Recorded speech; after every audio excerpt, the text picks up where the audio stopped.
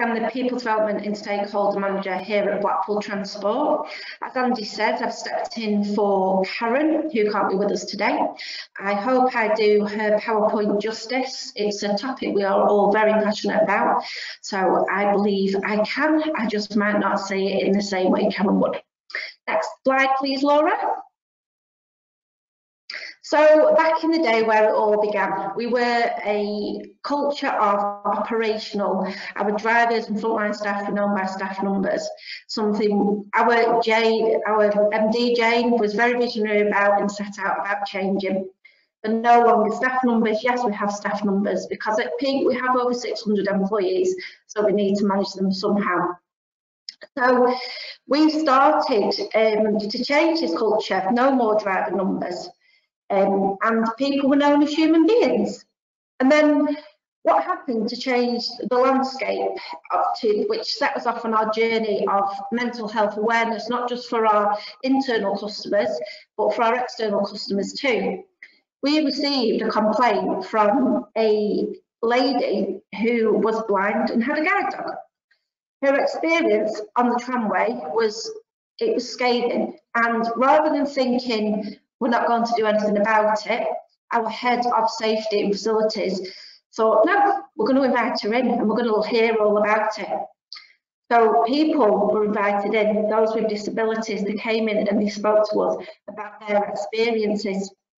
We did this also with our drivers annual training. Our, our, our, drivers have to sit at least seven hours a year, seven hours a year CPC which is basically to make sure that they are up to, up to driving standards. But we changed the landscape of this. We brought these real people in so the drivers and the frontline staff could also understand what it meant for the customer and what they were experiencing. So this is how our training changed. It became people-centric. Everybody within the organisation completed the WorldHost training, which is a customer service training if you're not aware of it. And we had a new focus on our customers and colleagues. We were expecting our frontline staff and all our staff, not just frontline, all our staff to look after each other and our external customers. So if we're expecting this of our frontline, then it's over to us now to do something about our, our guys when they're working for us. Slide, please, Laura. So the customer experience team is one of the teams that I, I proudly lead. When we joined, Karen and I, five years ago, there was only half a post dedicated to customer experience. Really proud to say now there's, is the six of us, um, but it's not just about customer experience team, we're all on board with this. We moved to our Market Street Customer Centre, which is where most of our drivers are based, and that made a complete and utter difference because we were just getting drivers talk, talking to us about different things and sharing their experiences out on the network. We changed the way we do we did things. We looked at the complaints, we investigated, and we understood what was going on on the network. We looked at it from the customer that was talking to us, but we also spoke to the driver and said, what did happen out there? What, what is the truth? Tell us what the truth is so we can educate the customer that is giving us this feedback. So we went from giving out thousands of pounds in compensation every month to educating our customers as, as to understanding us as a network and how public transport runs, but also understanding us internally understanding what our drivers go through every day. Again, we, what we did was um, any changes that we make to the transport services, we speak to our customers, we go into the communities, we speak to our stakeholder groups we don't just make a change because we think it'd be the right thing to do. We speak to our customers and this hasn't been something that's happened overnight. This has been a long journey. We've been on it five years now and we're still not giving up. And we have make a presence at events and meetings. So you might see us out as um, a bus being a circus bus or you might be see there's something a lot more serious like hospital transport groups and council transport groups, but it's just all about making a difference and listening to our people. Next slide, please, Laura. Okay, so, so what, as Karen's named, you know, absolutely named this. So this rich insight introduced, was introduced into our frontline, frontline training. We encouraged our frontline employees to walk in our customers' shoes, to see it, to feel it and to understand it. The drivers were able to empathise and this got them discussing their feelings. The customer complaints started to reduce because we were crazy enough to say sorry, sorry about that. And we learned that not, no two customers are the same. Something's happened in your world that we need to understand because we know that your world isn't, isn't, we don't know what your world is. So what's happened in your world that we can change in our network to make it better? And we are sorry that we have upset you in your world.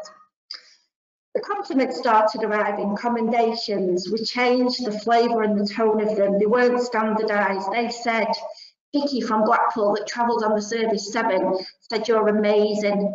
We made, we gave the drivers some kudos around that. We recorded them, we shout about them, we strengthened our communications on them, we have them on tellies, we have them on newsletters, and in turn, it's improved our reputation and brand, but the frontline morale and, and across the business is, has gone from strength to strength. Next slide, please, Laura. So, as Annie touched upon, Lancashire, we know we are at the top of the league table for all the wrong reasons because we have complex demographics in Blackpool. And I'm proud to say that we completely and utterly get it at Blackpool Transport. Many of our lone um, Blackpool Transport employees are lone workers and they're part of the demographic that lives in Blackpool.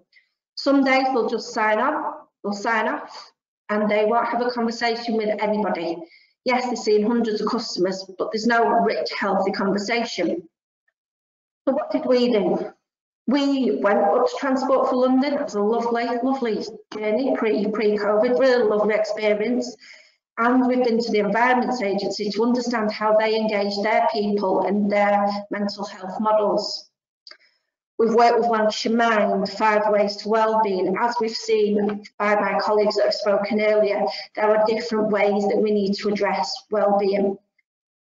We've got wellness action plans and we've got safe spaces for our colleagues. If anybody needs a bit of time out, there are spaces where they can go and sit and take some time. And this is where you will find you might need one of our 70 Be the Shoulder ambassadors. I'm really pleased to announce this is not just me, this is a this is a whole across the board together. We have a Be the Shoulder screen, Be the Shoulder Ambassador Network. So if you see what we did there, BTS, Be the Shoulder, so we've got 70 Be the Shoulders within Blackpool Transport. You can go to any of these 70 people and what they do, they will listen to you. You've got a badge, you've got a notebook so you can note your conversations, but what you're there to do is to listen. All these people were trained by our mental health expert and our champion, and they just know that how to have a healthy conversation with somebody. So one of our mottos is you might not want to speak to one of those 17, but we've got in-health support, just please find somebody to speak to. And we also have qualified first aiders. I'm pleased to say I'm one of them and I think we've got another five in the business, but that is really healthy and we really do shout about it and it has made a huge difference. Next slide please, Laura. Over here and now. So we are industry recognised and trailblazers in disabled access. I don't know if you've travelled on your vehicles, if our, our vehicles, I'd encourage you to do so. If you want support with that, just let me know because I want you to get out there and understand what we do for disability and people's mental health and wellbeing. The training again goes into CPC, but we roll it out to all our front frontline staff. And we include now employee wellbeing models. All our colleagues are proud dementia friends and this has seen such a difference, such a support. We know how to manage our customers that do suffer from dementia and we can support them. We're open and supportive. I'm a manager, I'm open, I'm supportive. Some things come naturally to people but we have put the training in place so our managers and our senior leaders can look after each other and our colleagues. We've also shared our lived experiences and managers talk about it. So what happens now is if we put something up about mental health, it's the norm and that's fantastic. It's completely normal to see something about mental health. We talk about our mental health because it's okay. Yes, I appreciate there is still some stigma there, but that stigma within this organisation is slowly drifting away. What next? What can we keep doing? Because I'm quite sure from what I'm telling you, we sound amazing. And I'm going to say we are, um, because we are trailblazers and we want to do diff things differently we want to look after our people. But there's more. Lancashire Mind, just today, our Lancashire Mind surveys will go live. That is the first time we've ever done a survey of this kind. Sorry, Laura, see, I went off into my zone then. Thank you, Laura, for keeping up with me. Um, so we're doing our survey today. It'll go out in the newsletter and we've segmented it to different um, different cohorts of staff in the company, like admin, engineering, just so we can understand what's going on in the different departments, because we really do, when we say we want to make a difference, we want to, we genuinely do, and we want to act on what our people are telling us. We've always had a excuse me, we've always had a learning centre, but we've changed its location to our Market Street a Market Street site, which is more central location for all our, all our frontline employees. We're going to we're going to build a monthly campaign. We're going to encourage all our frontline staff to have IT and digital skills. We've got positive signposting, so we've got the Transport Benevolent Fund, we've got Voyager, which is like Credit Alliance, and we've also got wellbeing services, including counselling. Excuse me, I'm just going to need to take a drink. We're also designing a new corporate induction. This is going to be including being mentally healthy, equality and diversity, and a customer experience focus. Next slide, please, Laura. So in the future, so we've just mentioned the mind survey, that's part of our future, but our cult culture is going to be around organisational development. We call them wraparound skills in-house. Some other people may know them as soft skills. So we want all the things that we don't need to do, such as we don't need to train people in mental health, we don't need to train them in equality and diversity, but we are going to continue doing that.